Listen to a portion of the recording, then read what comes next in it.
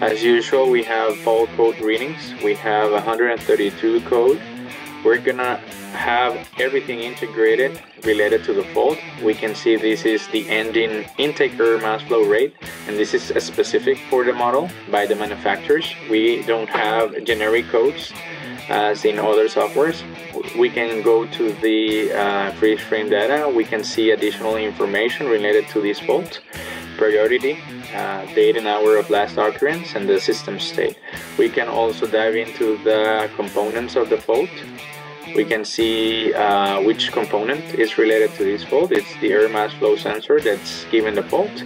We can also check information about the component operational data, some of the tables of the voltages, tightening torques, and pinouts, so you can have a guidance on the electrical diagram. We can go straight to the ECM connections. We just choose a particular series model to access that computer.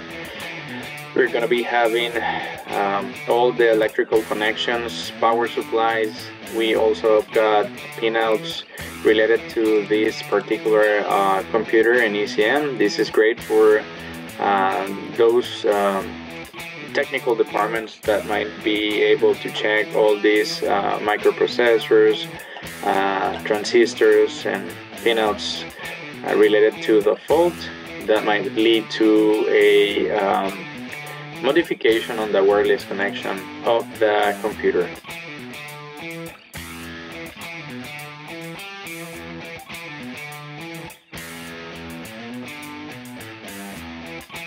We've got live monitoring, we've got system display. If we want to check fuel consumption rates, if we can see some of the measurements into these uh, electronic diesel um, measurements and components, we're going to be seeing live monitorings from the injectors. We can see the fuel vapors canister, we can see the electronic diesel pump, and we've got also uh, some of the ratings related to the system. We can also do some live data selection. We can filter out by particular sensors uh, willing to be measured. We can choose, let's say, injector metering rail pressure, EGR pressure sensor, or boost pressure. We can see engine oil pressure, and we can go to these gauges so we can see some system displays and get some live monitorings. At the same time, the system will be detecting if any uh, measurement it's out of range. We will be having some alerts, a little bell over here, whenever we are getting wrong readings, okay? We can also check some graphics.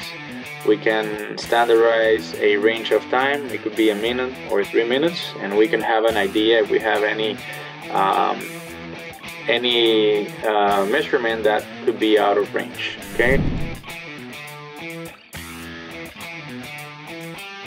We've also got uh, some of the special functions, system checks. We can perform cylinder cutout tests, so we can cut out fuel supply on specific cylinders. Uh, a series of initial conditions. We've got references. Uh, we also have um, the way the cylinders are working and performing on this engine.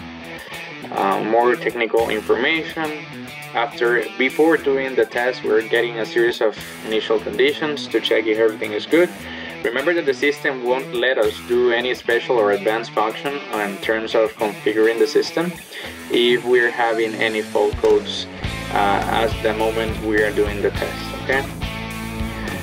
Perfect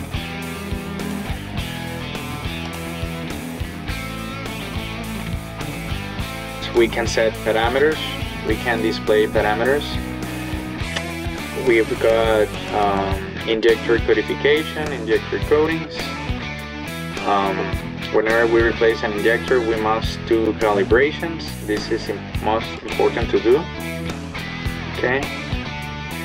Doing some tests into the injectors and cylinders.